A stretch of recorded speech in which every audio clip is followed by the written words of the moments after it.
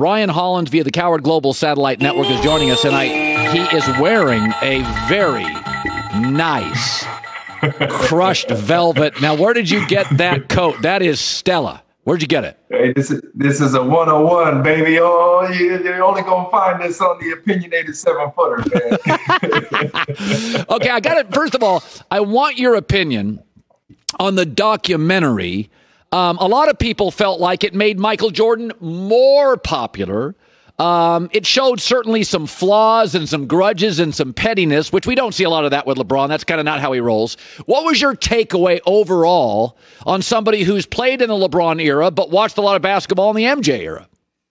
Uh, it just reassured me that LeBron James is the greatest athlete that we have ever seen play the game of basketball. Uh, I, already understood how dominant Michael was, how hard he worked. And if you look at your GOAT list and you say, who was the most dominant? LeBron can't question what Michael Jordan did. He was undefeated in the NBA Finals. But when I look at the path that Michael Jordan took, when I look at the path that LeBron James took, Michael Jordan was, I mean, he he was fed into greatness. I mean, think about it. His older brother whooped on him in the backyards. His dad was hard on him. Then after that, he goes to uh, North Carolina. He plays with the top 50 greatest player of all time in James Worthy. Dean Smith, for God's sakes, is his coach. Then he falls upon Phil Jackson and goes on to win six championships, two three-peats. LeBron James had none of that. And I understand it, the big fault of what LeBron James, when it came to the media of going and playing in South Beach, all we looked at and all we saw is the, the decision, and then we saw that he teamed up with Dwyane Wade and Chris Bosh.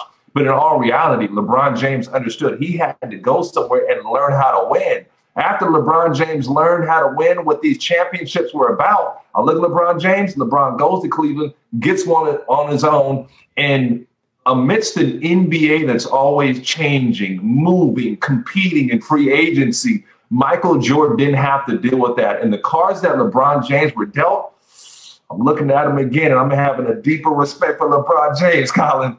Well, no, I, I totally get that. And I, you know, I've said if that was the last dance for LeBron, I would call this season the last chance. It's not a good mm. draft. It's not a big free agent year, and the cap is coming down. He, there's no, and this is an old roster. So to me, Ryan, this is a this is a strange sort of physical break for LeBron. The older LeBron, 17th year, just got two months off, and we know he's in an impeccable shape. Uh, you know, Anthony Davis, by the way, can be at times brittle two months off, he'll be in the best late season shape of his life. I kind of feel like, though, Ryan, there's no free agency help on the horizon. The Lakers don't want to go over the cap, and it's coming down. It's a weaker than average draft. I kind of feel like this is LeBron's opportunity to get a title. I don't know if it exists in a year from now. Your thoughts?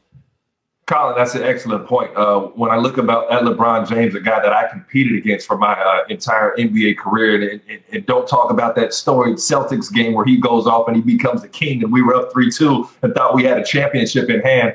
But LeBron James, I, we're, we're the same age.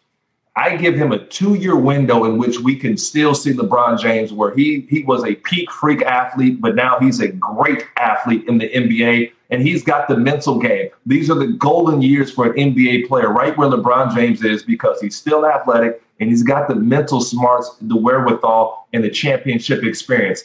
Guys, this could be set up any more for LeBron James to win the championship. Let's let, us let us be honest. The Clippers were the favorites going into this thing, but with COVID nineteen, who's it going to favor? COVID nineteen is all about LeBron James. Why? He's got more experience than anybody in the entire league at winning championships, at playing in an NBA Finals. Not just that, LeBron James saw the moments, and a guy that you just brought up, Colin, he's obsessive about his body. He, he's probably got a, a, home gym or a weight room, a sauna. Who, who knows what's going on in LeBron's place? But in all reality, he's working out and he understands the severity of not anybody. And keep in mind, you know, LeBron James was watching that last dance and said, Oh, oh okay, Mike, I'm looking to one up you, baby. I'm looking to one up you now. Yeah, I don't think there's any question about that. By the way, there's a lot of things. There's reseeding, there's a play in tournament, there's start the playoffs. There's all these options now being presented. As a player, if you were playing today, what would you prefer? Would you prefer seven, eight regular season games to get ready? Let's just go to the postseason, uh, group stage. As an athlete, what do you think is the best for the players going forward? here's the reality, man. When I played, I knew how important training camp practice was, and especially when you get later up in age, you value all of the little things. Just going up against physical contact, going and and, and banging somebody physically in the game, and going into a workout. I'm sure all these guys right now that I've talked to are doing non-contact workouts. So by the time you actually get into a game and get contact, that's going to be a week or so of preparedness. Colin, here's the reality I remember the Celtics team I played on, we made it to the Eastern Conference Finals.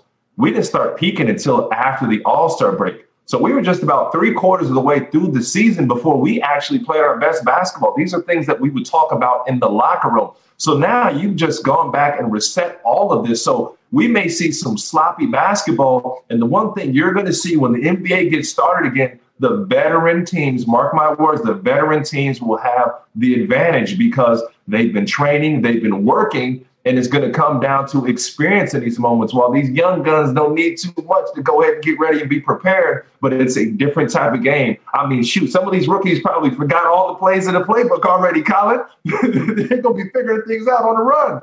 Do you buy, like Shaq said, it'll be an asterisk season regardless of the winner? Oh man, I, hey, listen, I, I, love the big fella, but he, he's trying to double down on his own championships. When I look at, and remember San Antonio, who won the championship within a lockout year, I don't look at it any different. But Colin, if we're going to find an asterisk, it's not going to be COVID nineteen, but the asterisk will be similar to last year's NBA Finals. Because listen, uh, unless you were a Warriors hater, you were just tired of them, or you were a Toronto Raptors fan, we all know last year's NBA Finals had a huge asterisk. No Kevin Durant no Klay Thompson. Okay. And, and, then Steph Curry's getting boxed in one, trying within two. So, in all reality, unless we see LeBron, Giannis, or Kawhi go down, there's going to be an asterisk on the NBA champion this year. Love your there red. Be, excuse me. There won't be unless. Yeah. Love your red jacket. It's great seeing you again. I'd like to get you back into the studio. And uh, my man, I appreciate you stopping by on a Friday for us, buddy. Anytime, man. If you guys get a chance, man, check out the Seven Footers Opinionated podcast. We got some special guests on there. It's myself and Brendan Haywood. Appreciate you, Colin. All right. Thanks, Ryan Hollins, joining us today. Hi, everybody. Thanks for watching. Subscribe here to get the latest from the show. Also, be sure to check out more of the best clips from The Herd or go watch a few segments from other shows on FS1.